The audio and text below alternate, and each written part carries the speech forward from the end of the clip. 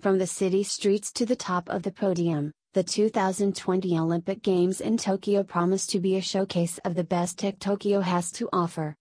Japan is famed for its engineering and manufacturing expertise, but the technology at the Olympics won't just be for show, the city and the International Olympic Committee, IOC, are using it to make the Games more accessible to athletes and fans at the venues, and more fun for viewers watching the action at home. Mobility for All Toyota, the Olympic Games official mobility partner, is planning to use its battery operated e Palette vehicles to ferry guests and competitors around the 2020 Athletes Village, which the organizers hope will be powered completely by hydrogen. Toyota describes these odd, bus like vehicles as a mobility ecosystem. Early concepts have shown how they could be used as a restaurant or store on wheels, but at Tokyo 2020 they'll serve a more mundane, but useful, job, acting as a short-range shuttle service. The e-Palette's low floor makes it a great option for Paralympians and guests with limited mobility. The freedom of being mobile is at the heart of being able to participate in society, said Akio Toyoda, president of Toyota. If someone wants to take on a challenge in moving is what is preventing them doing so, Toyota would like to help tackle that problem. We want mobility to be a possibility, not an obstacle. To that end, the company will also be demonstrating fully automated cars in the Toyota Waterfront City and Haneda areas in Tokyo. These vehicles have level 4 automation, which means they can handle all aspects of driving without human intervention. Toyota's concept I will make an appearance at the Olympics too. This automated car features an AI assistant that picks up on passengers' emotions and preferences, and makes conversation like an unusually empathetic taxi driver. VR and shooting stars. You won't have to travel to Japan to benefit from the tech at Tokyo 2020. Like Toyota, Intel is a partner of the International Olympic Committee, and claims it will bring new levels of fan interaction to the Games.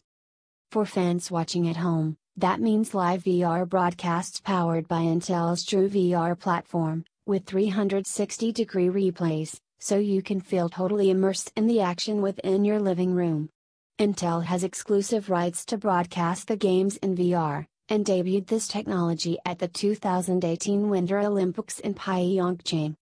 Really, what we're doing around this experience is not try to take television and put it into VR, and we're not only trying to transport the fan to be at the event, David Aufhauser, managing director of Intel Sports, told TechRadar.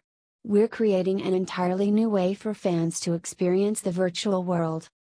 Intel will also light up the sky above the stadium with its shooting star drones, which can create 3D images as an alternative to traditional fireworks. Once programmed, an entire light show can be launched with a press of a button, and because the drones are reusable, there's none of the usual waste. If that doesn't sound spectacular enough, Japanese research company ALE might be putting on an artificial meteor shower for the opening ceremony. If it goes ahead, this will involve sending a satellite loaded with source particles into orbit. Once the satellite is stable, the particles will be discharged and enter the atmosphere, where they will begin plasma emission. Like fireworks, particles containing different elements will produce different colors as they burn potassium for purple, copper for green, and so on. Trash to treasure. Carbon free cars and reusable fireworks won't be the 2020 Olympics' only step towards sustainability. The city is planning to use recycled e waste in its medals, and has placed collection boxes in offices for workers to donate old phones and other small electronics.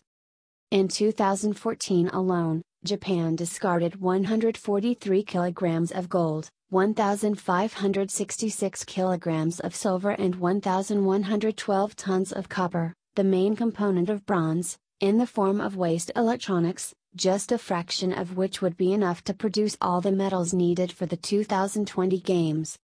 There's a limit on the resources of our Earth, so recycling these things will make us think about the environment, said Tokyo 2020 sports director Koji Murofushi. Hopefully, that sort of resourcefulness means that the only thing left behind after the 2020 Olympic Games will be a raft of new technology that can benefit Japan and the rest of the world, at future sporting events and beyond.